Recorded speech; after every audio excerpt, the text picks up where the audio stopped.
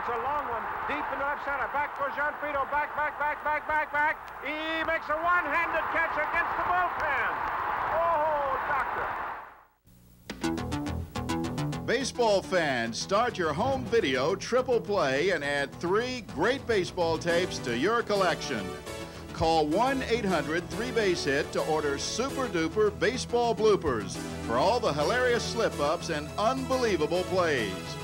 Call 1 800 3 Base Hit to order This Week in Baseball 1990, an exciting video yearbook of a historic season. Call 1 800 3 Base Hit to order the 1990 World Series and capture the Cincinnati Reds' stunning victory. Visa and MasterCard users call 1 800 3 Base Hit to order each tape for $19.95 or all three tapes for $49.95, plus shipping and handling. Call 1 800 3 Base Hit or send check or money order to MLB Home Video, 1145 North Ellis Street, Bensenville, Illinois 60106.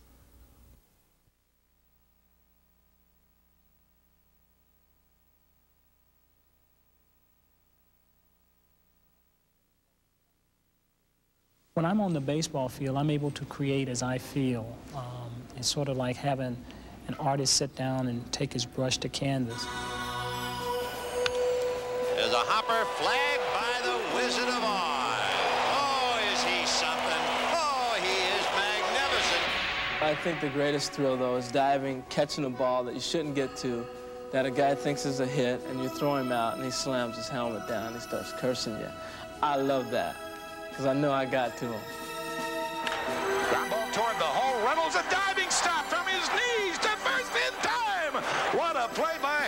Saving a run. If there was any fun on the field, for me, it was the great play defensively, making the great play and, and talking about it the next day. And uh, I would work on the great play. I, I, never, I, didn't like to work on routine ground balls. I like to work on, uh, you know, the tough ones and the strange ones. Right back and off the glove. And he will not. Mike Schmidt, what a play to get him. Whoa, whoa, look at this. Out!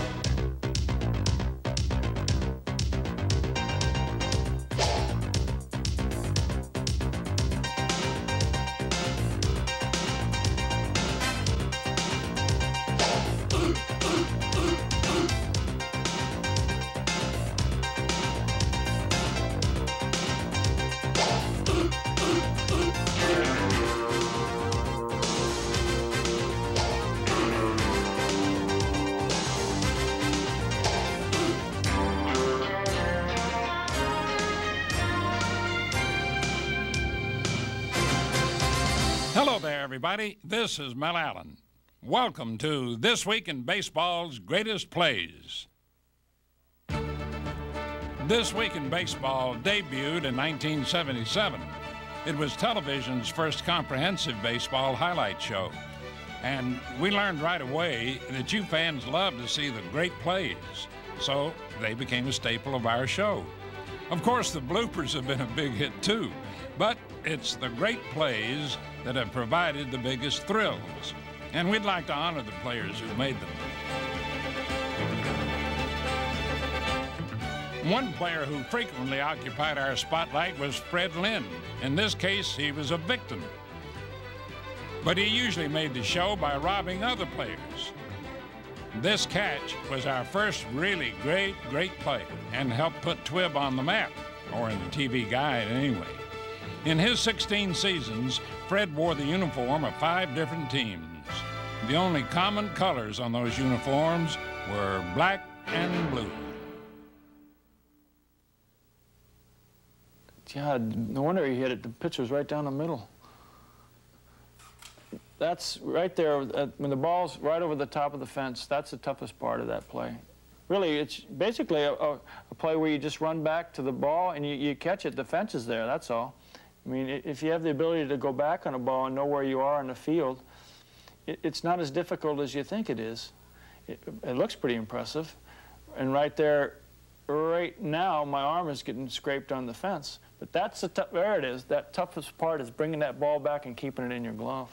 It's famous in the fact that it was done on a game of the week. And um, a lot of the times that we had games of the week, I was making plays. And um, it was fortunate for me because I started to get a reputation as a good outfielder by just some of the replays that people saw on TV.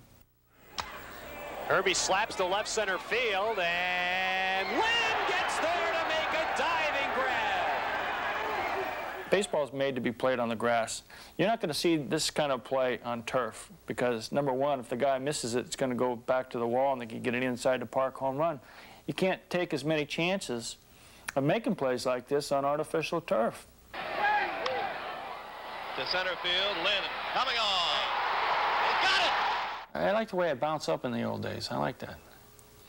Yeah, they throw the ball down in disgust. Don't do that again. I want the ball hit to me in, in a crucial situation. I don't want anybody else to, to be able to mess up. I want it on my shoulders. What makes this catch really a great catch is that it happened in the middle of a pennant race. We went on to win this game one to nothing, and then we shut them out the next game, and we effectively put the Yankees out of the pennant race this day. And fortunately, I, I work on my gloves a lot, a lot of oil, and so I keep them very supple, very soft, so that when the ball goes in there, it doesn't come out. Here's Guerrero drilling one to left. Lynn back at the fence, leaps up and makes an unbelievable catch. How can I justify to my pitcher that I'm not going to die for a ball when it means, you know, his ERA might go up, we might lose the game. The fans come to see me play the way that Fred Lynn knows how to play. They don't want to see me stand out there and let balls drop in. I can't do it. I couldn't do it. So I did get hurt, and, and um, looking back on it, um, I wouldn't change it. It's just uh, the way I am, and, and my mentality says that if somebody hits the ball my way, I'm going to do everything I can to catch it. Notice it's high in the air to left center, way back, way back. Downing is back there, so is Lynn. It is caught by Lynn. And Downing and Lynn collided at the wall. Downing shaken up, gets to his feet. It's very dramatic. It's fun to watch this one. I, I enjoy watching that. Look, oh, from that angle, looks like he's going to kill me. Look, oh, he does go over me. Well, there's the end of the wall. Well, I was worried when he was coming that we were going to have a, like a train wreck out there. And uh, fortunately, I went over him and was able to get the ball and avoid hitting him at the same time. And when I saw the replays, I couldn't believe it. Uh, the next day, they had to replace that section of fence because both of us hitting it, Brian's a big guy. We hit the fence, we moved it back about three feet. We bent the poles, and that were there in cement.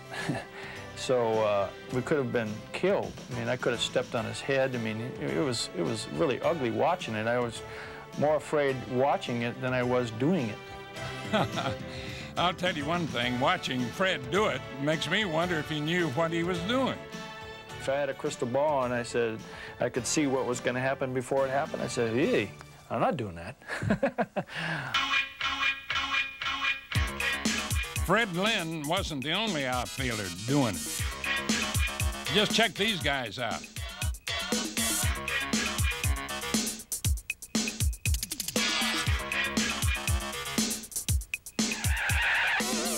Hugler, can he catch up with it? Yes! Does he hold on? Yes! Shallow center, Devereaux, oh, oh, oh, full ball, makes a tremendous catch. To left center field, Calderon. Hit hard to left field. Venable, he makes the catch.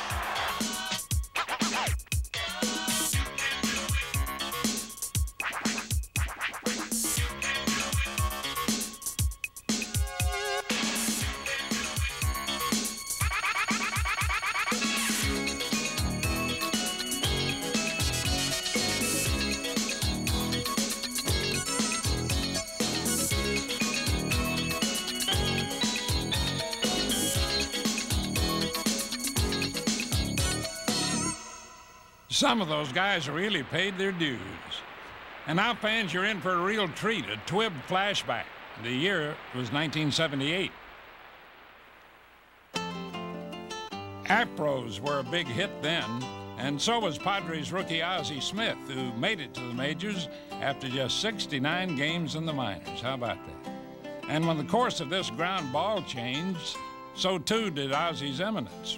On this particular play, Randy Jones is pitching and Jeff Burroughs is hitting. And there's a ground ball hit to my left. And uh, as I dive for the ball, with my glove hand, the ball uh, inadvertently hits a rock and bounces back behind me while I'm parallel in the air. Well, the only way to get the ball, because my glove hand is gone, is to reach back with my bare hand, which I did in this particular instance, and the ball hit in the palm of my hand, it stuck, and uh, I was able to get to my feet and throw them out. I think it really hit me probably the next morning when I got up, and people were talking about it on the radio. You know, people were saying things like, this possibly was the greatest play I have ever seen. And I'm saying to myself, the, the greatest play that they've ever seen, that means that baseball's been around for a long time and no one has really seen anything like this. I guess that makes it special. So that was the first time that, that people really realized that Ozzie Smith had hit the scene. That's Len Barker. Now, what's he doing in a Great Plays video? You know that Len was perfect one night in May of 1981, but he wouldn't have been if his teammates hadn't made some perfect plays. Barker cranks it up. The strike one pitch to Bosetti. There's a line shot. Kuiper backhands it on one hop. The throw to first, and he got it with a scintillating play. The windup and the pitch to Griffin. He smacks it on the ground. Kuiper has it going to his left. The throw, and they get Griffin by a step, and another fine play by the captain. The best play of the night was made by Toby Harrah. High pop, third base side. Toby Harrah drifting over near the railing. He leaps up. He grabs the ball. What a catch. What a play by Toby Harrah right up over the top of the railing. As he caught the ball, he tumbled into the first row of seats. What a play by Toby. Naturally, Barker did his share. Most of the outs were easy ones. Fly ball center field. Manning coming on. He's there. He catches it. Len Barker has pitched the no-hitter. A perfect game for Len Barker. Len's name might not have gone down in the history books, if it wasn't for some perfectly timed help from his teammates. Of course, Barker's not alone. Several no-hit pitchers owe special thanks to their teammates' special plays. Here's Scioscia. He struck out in the second, struck out in the fourth. Hit deep to right center field. Puhl going back.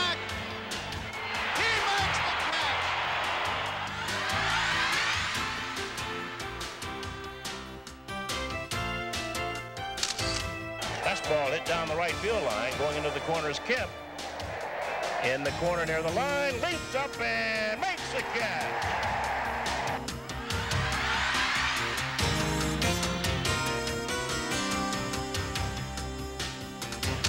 Juan Nieves has had his troubles with Eddie Murray, at least last year. Murray went four for 10 with a home run. A little looper, and it is caught beautifully by Paciorek in left. And with two outs in the ninth, Nieves again faced his toughest out, Eddie Murray. Hit in the air. Yount makes a great catch, and Juan Nieves has thrown the first no-hitter in Milwaukee Brewer history.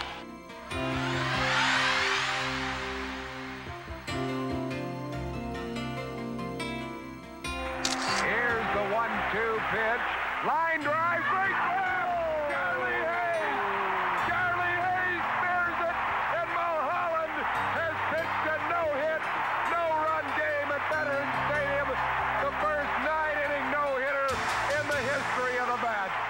Of course, not every perfect play decides the fate of a no-hitter, but they're still a joy to watch.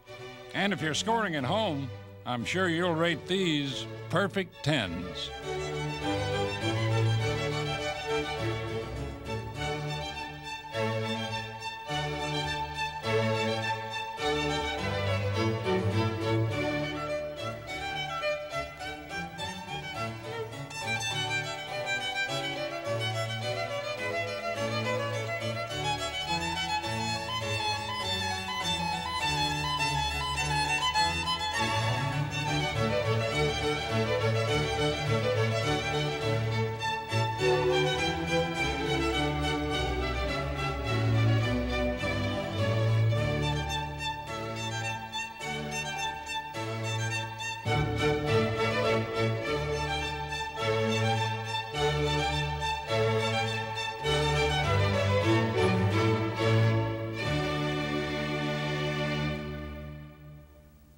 This Week in Baseball proudly salutes players' innovations.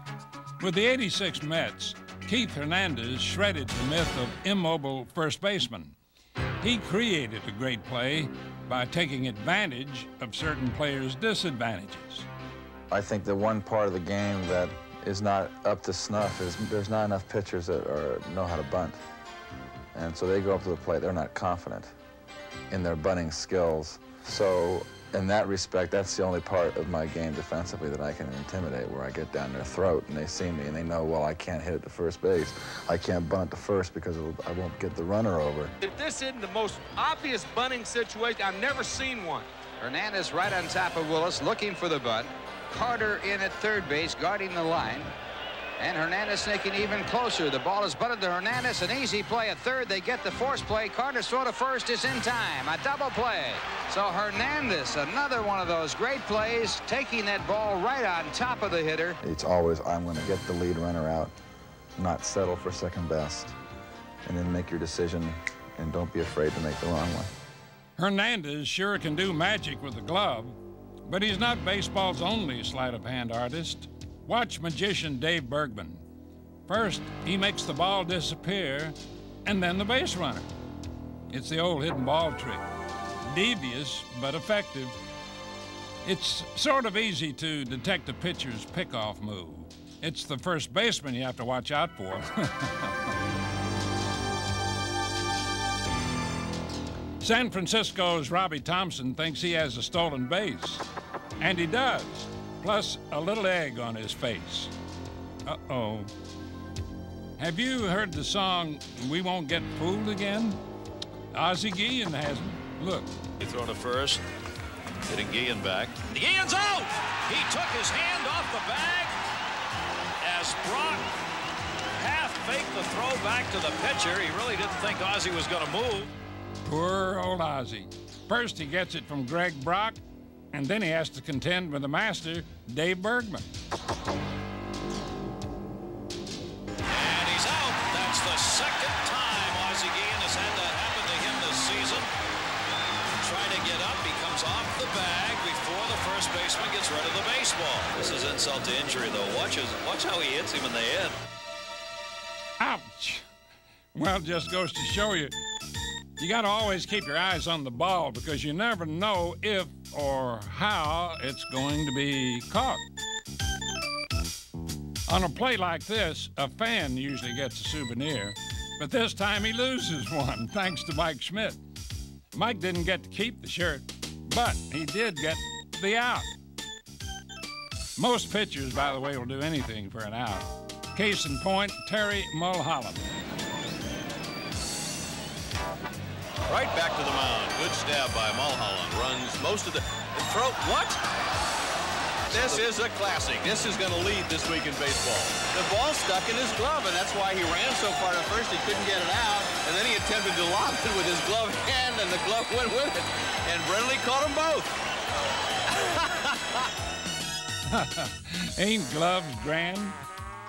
Some really creative players don't even need them, like Ellis Burks. Hey, look, Ma, no hands. Luis Tiant must have been a soccer goalie when he was growing up. How else could you explain this kick save and a beauty? Hey, nice going, Louis. Rick Camp takes it just one step further. Cincinnati's Paul O'Neill gives conclusive evidence that you just don't need a glove or a good arm to play this game. Base hit right field, but they're going to have to hold Jelks at third. Going now, the ball gets away from O'Neill. He kicks it to Benzinger. No, I do not believe it. The absolute all-time play I may have ever seen. Now, right here, he is, after he bobbles it, hits on the heel of his glove, off the hand, off the shoulder, off the hand. Watch this. Boom! You will never, ever again see this, so take a look. The Cincinnati Bengals are on the phone. O'Neill's punt kept a run from scoring. It also secured a spot for him in This Week in Baseball's Hall of Fame, alongside some other players whom you won't necessarily see in Cooperstown, like our old friend Duane Kuiper. It was more than 10 years ago when I played with the Cleveland Indians, and that was before fans could get to see a lot of baseball on television. Back then, quite frankly, This Week in Baseball was the only way fans could get to see their favorite players.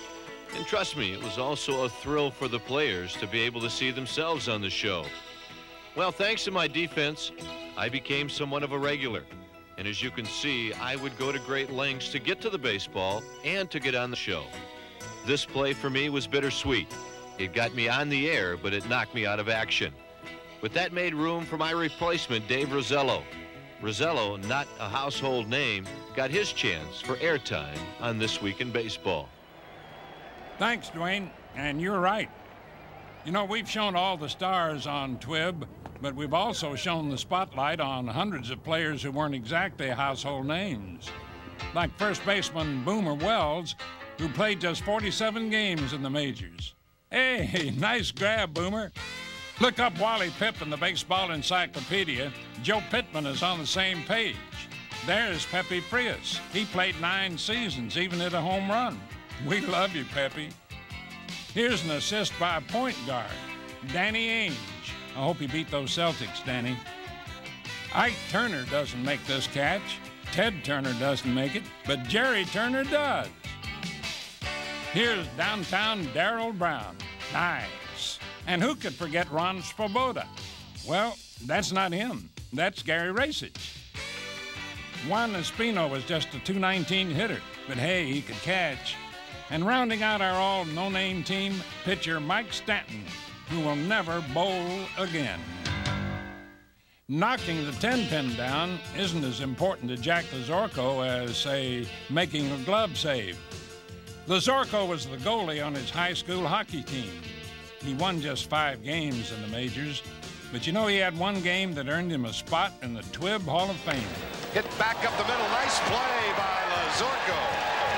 Oh, we talked about that earlier. What a cat he is on the mound. And going to try to bunt again. Lazorko, you're not going to get it by him. Two great plays by Lazorko. Right back at Lazorko. He does it again. Glove save. Boy, he looked like a hockey goalie, didn't he, going down that time? Now he does it again. again, Jack Lazorko. Well, I'll tell you, don't hit anything up the middle today. A routine day for your average goalie, but for a pitcher, well, it's more like one in a million.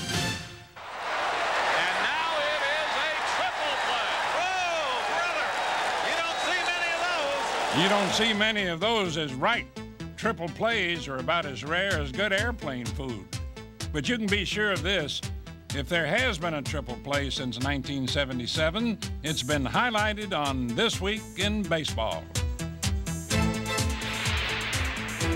Bouncer to the right side. Johnny Ray coming in. He looks Carter back to third. Now the throw they got to Strawberry and a run down between second and third. They got the out at first base. Gonzalez chasing Strawberry. They got out number two. They had a chance for a triple play. Gonzalez to Ortiz. Ortiz chasing Carter back toward third. Ortiz tags a triple play. Go to third, go to second, go to first. Ground ball. One. In the dirt. Nicely pulled up. Oh, they're going to get triple play. How do you like that? A triple play. Oh, doctor. Gary Gaetti has been involved in five triple plays, which is pretty amazing. More amazingly, two of them occurred on the same day. And who provided the six outs? The Sox. Third base. One there, two there, and a triple play. They go, and Gaetti has one. They got two, and they've got another triple play. Mercy me, Gerald. Mercy me, Mel. Have mercy on the Sox. Now let's move forward by going backwards to another TWIB flashback, the year 1985. Buck Martinez shared the catching duties for Toronto in 85, but there was one play that gave him more than his share of action. 3-2 pitch again to Gorman. Swung on. Ground ball to the right side. Base hit out of the right field. Here comes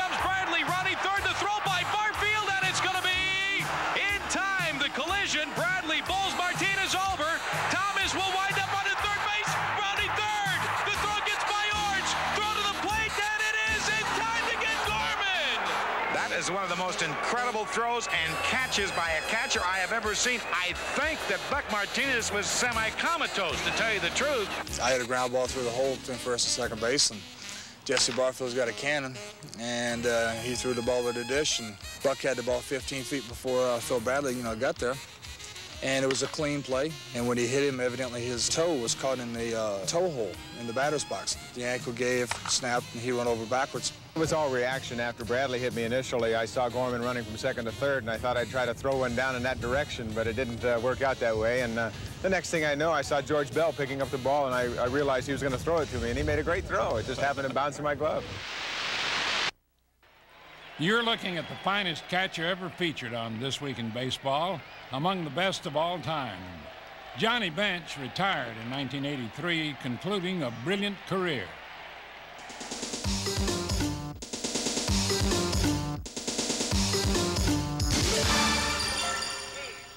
My father uh, got me into catching. I was about uh, five years old, I guess, when I first realized what baseball really was and what my ambitions were in life.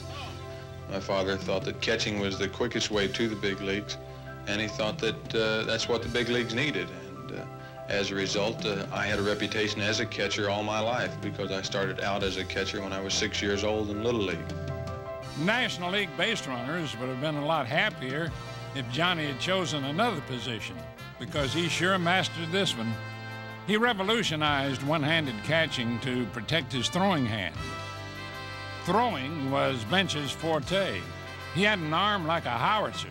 See what I mean? I always took care of my arm. In minor leagues, though, I'd love to show it off. I'd, I could stay on the home plate and throw it over the left field fence and on a line, and that was just something I was blessed with. My big hands helped probably in controlling the ball and being able to grab it and get it out of the mitt. I worked on my transfer, I worked on getting quick feet, quick hands, and then I just took the style that worked best for me and sort of molded it into what soon was to be my major league style. For the land of the free and the home of the brave. Eat your heart out, Eddie. Talking about masked men, Bench is clearly the leader of the pack. And among others who've excelled at the position is Carlton Fisk, who on one unusual play stood out from the crowd while being caught in the middle of it. Salazar way back. He can't get it. Measham went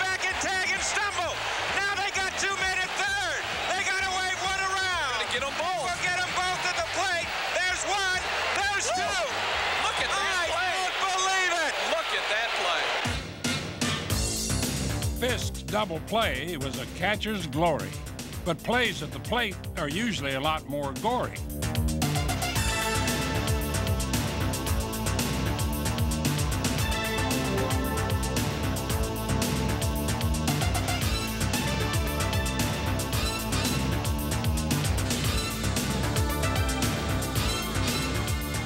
Rick Dempsey knows how tough it is defending home plate. He's got memories of a broken thumb to prove it. Ball tapped to the mound. Bale's going to go to the plate. Dempsey puts the tag on Bo Jackson and hangs on. Third down, six yards to go. It was like getting hit by a small car. I held him to less yards than the Boz did during the season, but uh, I knew I was in serious trouble when they sent a proctologist in to set my thumb.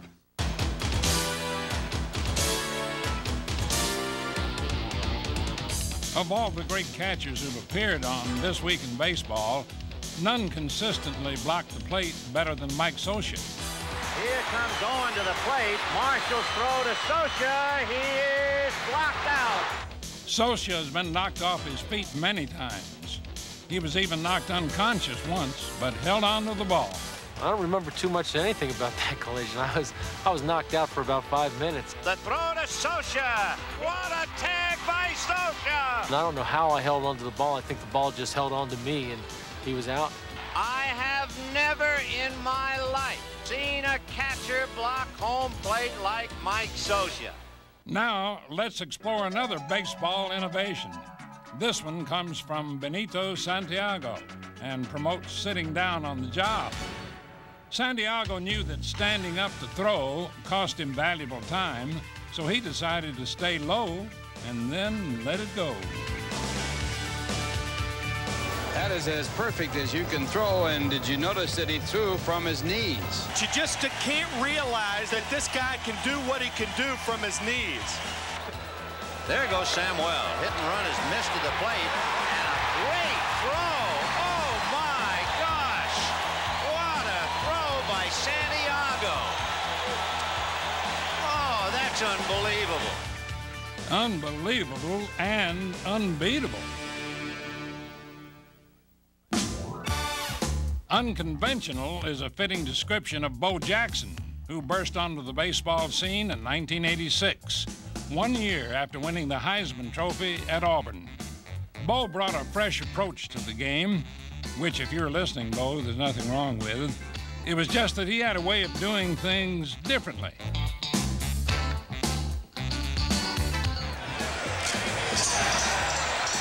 So now he's reading a bubblegum comic.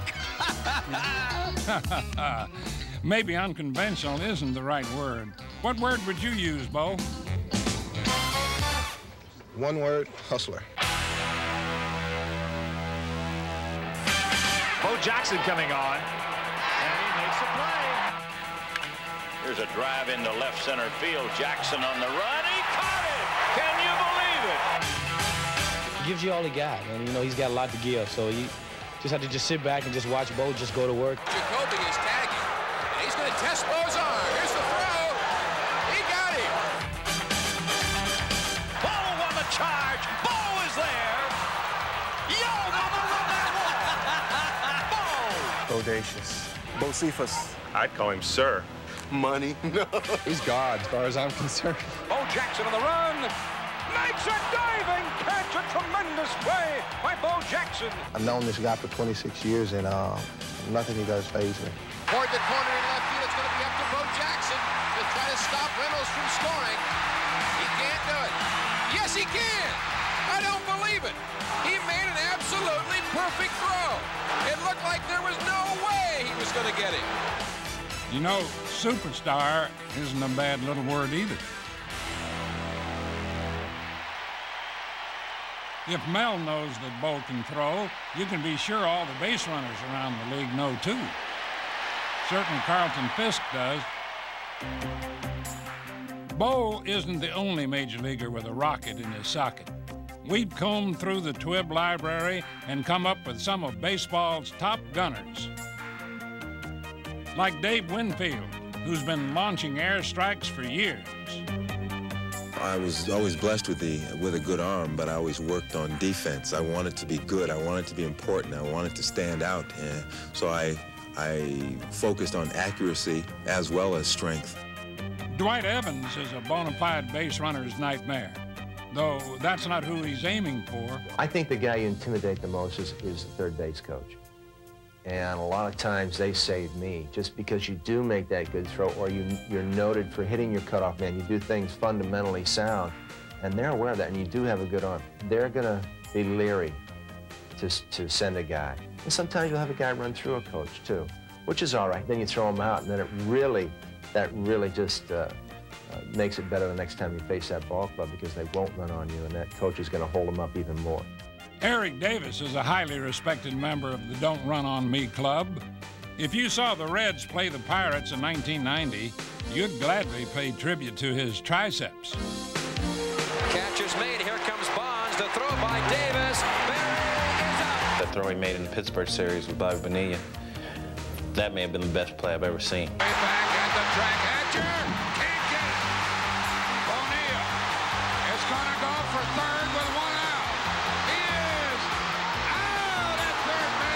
The, the strongest arm I've seen in, in the major leagues would probably be Ellis Valentine uh, in his prime. I mean, he had one of the strongest arms I've ever seen, and he was the type of player that when a player thought about going to extra base and they saw Ellis pick the ball up, they, they might have changed their minds quite, quite quickly.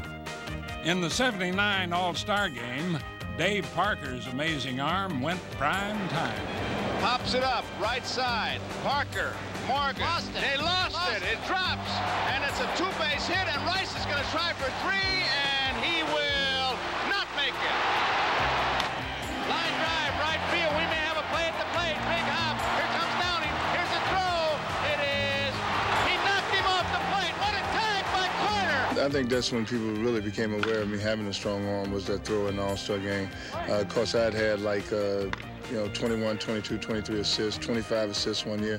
But I think that particular play kind of let the world know that, uh, that I had a strong arm. I think you'll agree with me on this one. When you see an outfielder make an outstanding throw, it makes you want to say, how about that? Now, let us take a quantum leap backwards. A TWIB flashback. The year was 1981. For this flashback, we travel east, far east. If you want to impress your friends, remember the name Masafune Yamamori. The Japanese left fielder ran up the fence like it had steps on it. Now that's an amazing catch.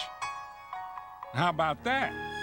Six years later, Ivan Calderon treated a Detroit audience to almost the same thing. Deep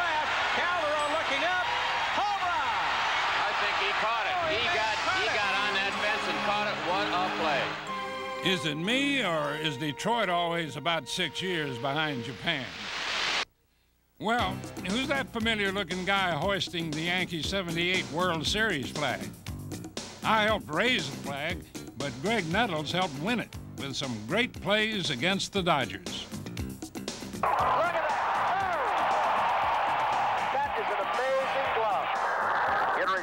Ground ball to third. Nettles dives, backhands it, gets up. Long throw to first. He got it. Here's Henry's 0-1 pitch.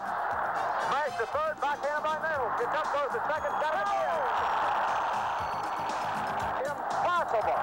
Graig Nettles, a line smash that bounced right in front of him, took it back in, turned around, and got the fourth play again. I don't know. Well, I know because I was there. Graig's show was one of the greatest ever seen in a World Series.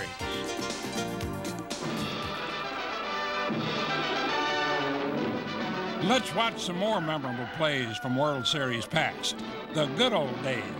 I'll be your host. Hmm, I wonder whatever happened to that hat. I think I still got it. There's Joe Rudi in 72, and that catch came in the ninth inning of Game 2 and helped the A's beat the Reds.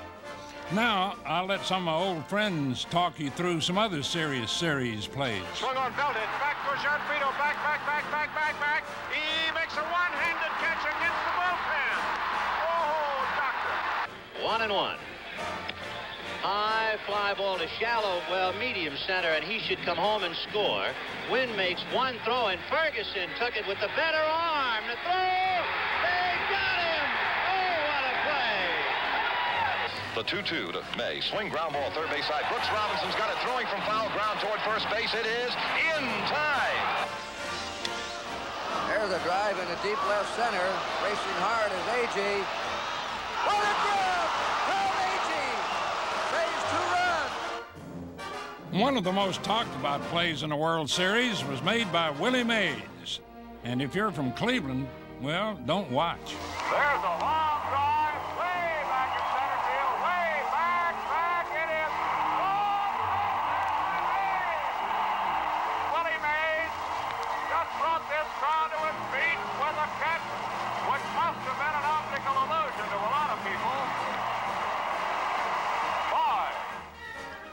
Commissioner Fay Vincent earns an honorable mention from his very first World Series.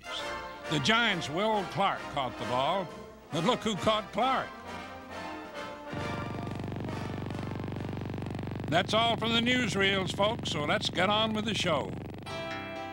Behold the Griffeys, baseball's first family.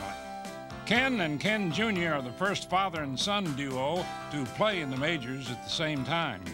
Junior goes to great lengths to keep his three time All Star father out of the way of his progress. And it's Ken Griffey Jr. taking the play away from his father. I'm sure you can see the resemblance between the two, but if you can't, maybe this will help you see the likeness. Fly ball into deep left center field. Griffey going back to the 1-8 track, leaps high in the air, and he's got it! An incredible catch by the kid! He away a home run from Jesse Barfield, climbing the wall in left center field. Hey, some catch. But how did Junior learn to climb the fence in Yankee Stadium? There's a fly ball down the left field line. Griffey going over, leaps, and he's got it. He took a home run, the tying run, away from Marty Barrett.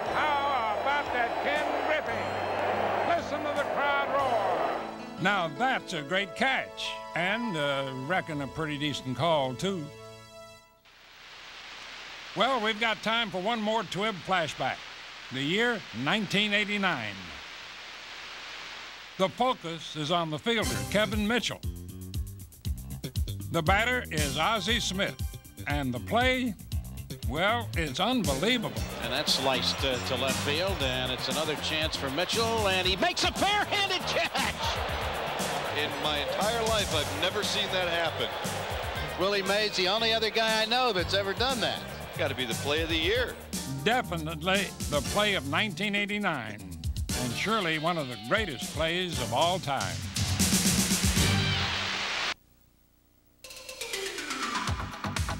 We've spent a lot of time in the outfield, and now let's embark on a flight around the infield, starting off with Hall of Famer Joe Morgan in 1983.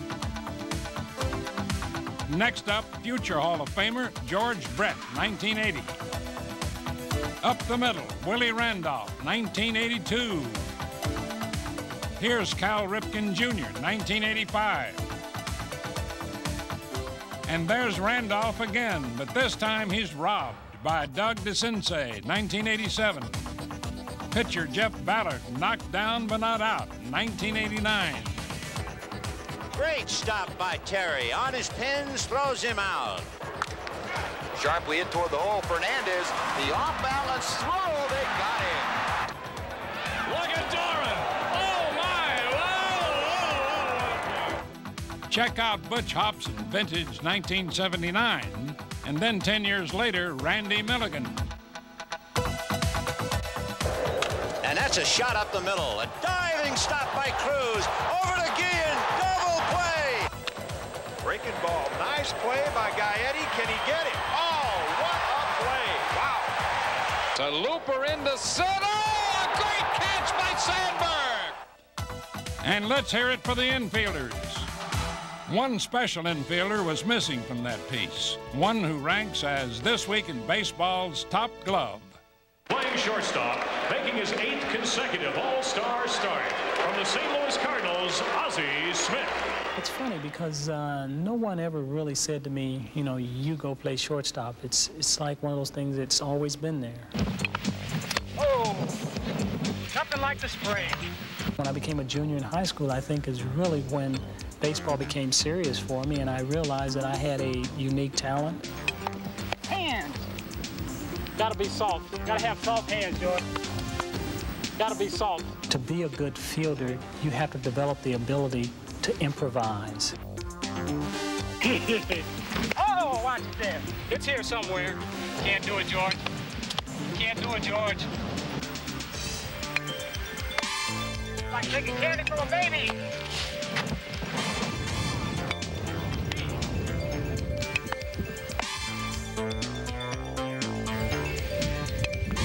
Oh. I've gone to home plate trying to steer the ball away from Ozzie Smith many times, many times. And there goes that ball right to Ozzie Smith.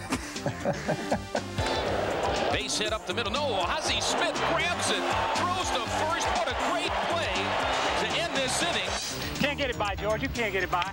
You hit a ball to hold and you say, oh, that's a base hit. And you look up and there's Ozzie making a play throwing to first base. You say, oh, jeez. Here she is. Swing and a one-hop shot. Diving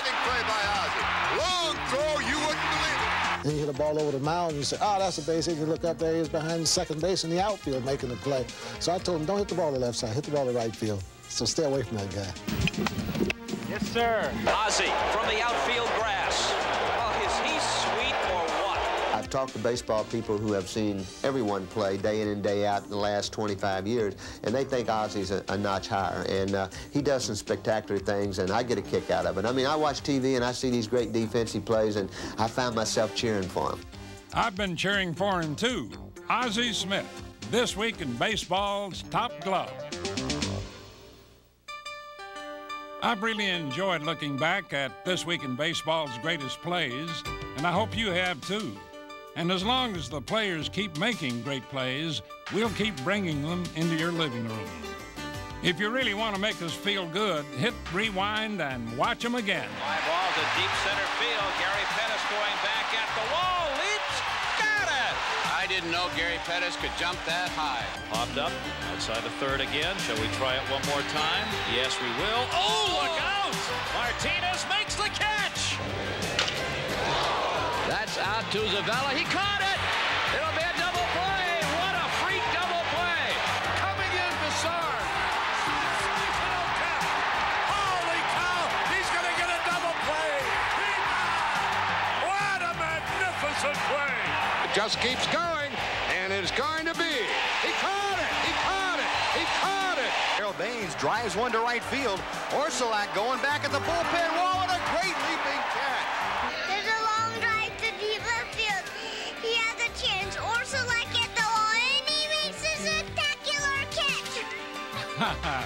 hey, kids, you got a future in baseball. Maybe not on Twib, of course, but somewhere. Now beat it.